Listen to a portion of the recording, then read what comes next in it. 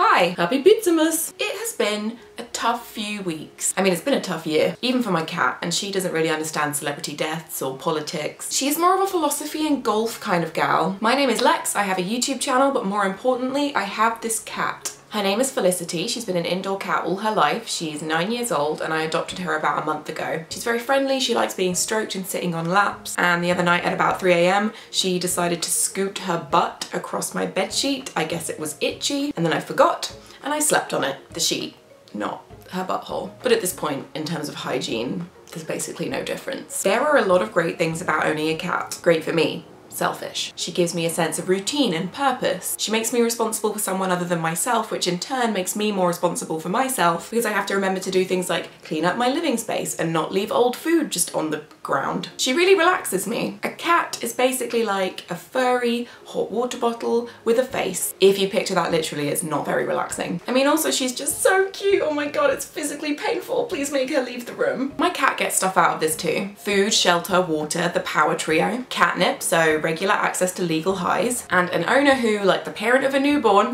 how's it going Hank, has committed to the fact that they will not get a good night's sleep for a very long time. So I don't mind that she likes to be the little spoon or that she wakes me up in the middle of the night, although she has developed this great trick where she reaches out at about 2am and punches me in the face to try and get me to wake up and stroke her. It's so adorable! The more I think about it though, the more it's weird that I've brought this animal into my home. She's domesticated obviously, but I don't think that my bedroom is necessarily her natural habitat. I really don't want to delve into the horrifying depths of the indoor versus outdoor cat conversation. People yell there, but as Fliss has never been outside and she's a bit more senior, she would be in a lot of trouble if I just opened the front door and said, go, run, be free my child, good luck with the big metal dogs with wheels. If they've never known anything different, do you think they're just like, cool, this is the world, I'm gonna eat some treats given to me by the big stupid talking noodle? Or does my cat look at the very large tall climbing tree that I bought her and think like, what, what are you trying to pull here? That is not a tree. Something I do find interesting is the difference in lifespan. I looked up the lifespan of a rabbit and it said 8 to 12 years domesticated, 1 to 2 years in the wild. In the wild, animals are fighting for food, mates, survival, sometimes it's cold, they can have untreated illnesses and injuries, predators are always giving them heck, nobody lets them eat a small bit of cheese if they've been good that day. Is it better to have a long, comfortable life that's not necessarily instinctive to you, or to have a short, natural one where you run free, terrified, with no idea what cheese even is? I am of course just talking about domesticated animals, obviously, not like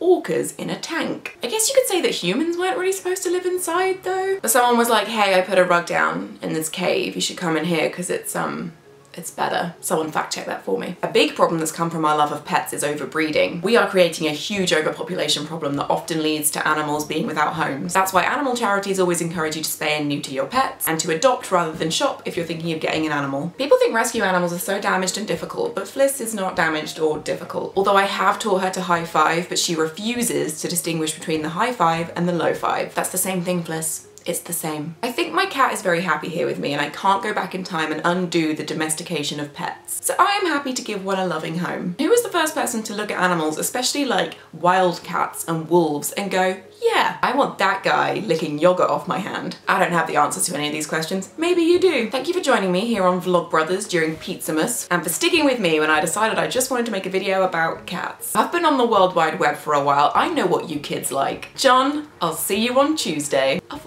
always wanted to say that.